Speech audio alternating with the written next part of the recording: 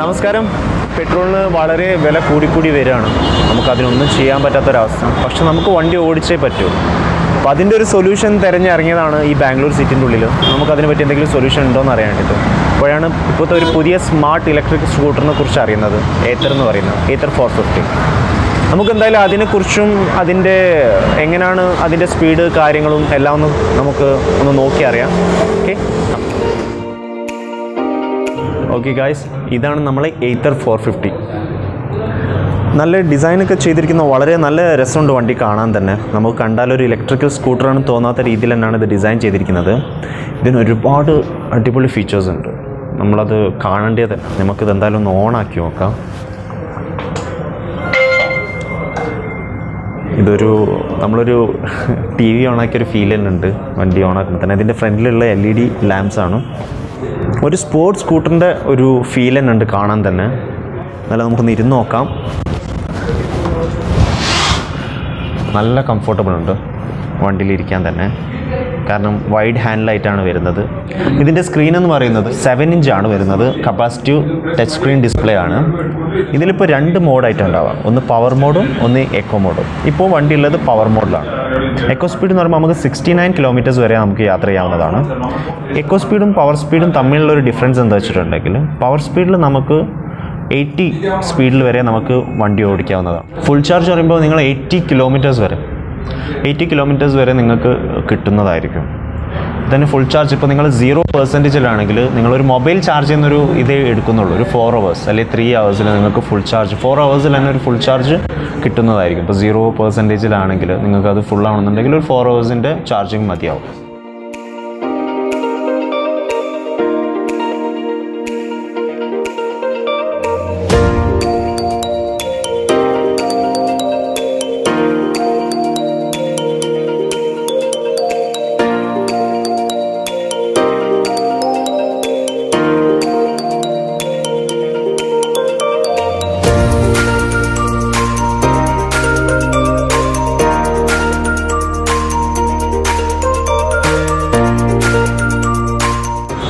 നമുക്കപ്പോൾ ഈ വണ്ടി ഒന്ന് ടെസ്റ്റ് ഡ്രൈവ് എങ്ങനെ ചെയ്ത് നോക്കാം? ഈ സ്കൂട്ടർ എത്രത്തോളം പവർ ഉണ്ട്? അതുപോലെ തന്നെ നമുക്ക് എത്രത്തോളം സ്പീഡ് വരെ പോകാൻ പറ്റുമെന്നൊക്കെ ഒന്ന് ചെക്ക് ചെയ്ത് നോക്കാം.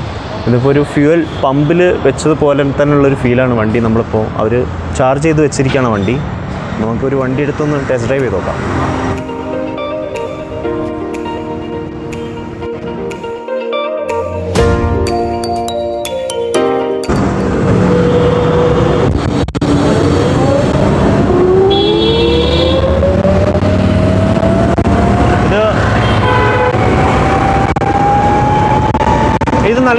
സാധാരണ നമ്മുടെ സാധാ പെട്രോൾ വണ്ടി ഓടിക്കുന്ന ഒരു ഫീൽ തന്നെ ഉണ്ട്.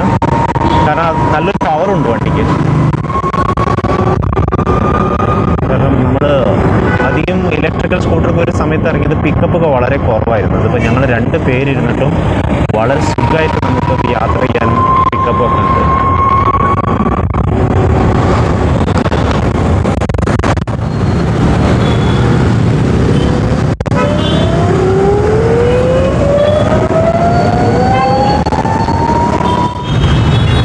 നമ്മളിപ്പം വണ്ടി ഓടിച്ചുകൊണ്ടിരിക്കുന്നത് പവർ മോഡിലാണ് എക്കോ മോഡിലല്ല കാരണം നമുക്കൊരു ഫോർട്ടി ത്രീ കിലോമീറ്റേഴ്സ് വരെ പവർ മോഡിൽ പോവാം എക്കോ മോഡിലാണെങ്കിൽ നമുക്ക് ഫിഫ്റ്റി കിലോമീറ്റേഴ്സ് വരെ പോവാം പക്ഷേ എനിക്ക് കുറച്ച് സ്പീഡിൽ പോകേണ്ടതുള്ളതുകൊണ്ട് ഞാൻ ഫോർട്ടി ത്രീ മീൻസ് പവർ മോഡിൽ തന്നെയാണ് പോകുന്നത് ಇದು ಇಲ್ಲ ಇದು ಫೋರ್ ಅವರ್ಸ್ ಚಾರ್ಜ್ ಮಾಡಿದಂದ್ರೆ ನಿಮಗೆ eighty kilo kilometre speed eighty ಬೇರೆ ಇದೆ പിന്നെ തന്നെ ഇതിൻ്റെ ഡിസ്പ്ലേ എന്ന് പറഞ്ഞിട്ടുണ്ടെങ്കിൽ വാട്ടർ പ്രൂഫാണ് ഡസ്റ്റ് ഒന്നും ഇതിന്റെ ഉള്ളിലേക്ക് കടക്കില്ല.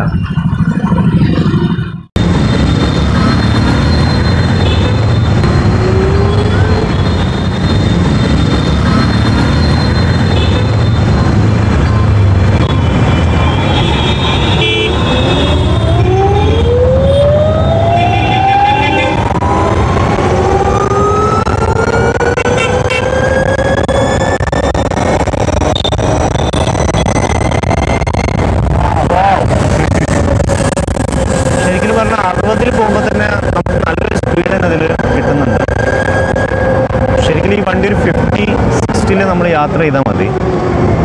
അതുകൊണ്ട് തന്നെ നമുക്ക് ഈ എക്കോ മോഡിലിട്ട് യാത്ര ചെയ്യുമ്പോൾ ഒന്നും കൂടിയും ബാറ്ററി ബാക്കപ്പ്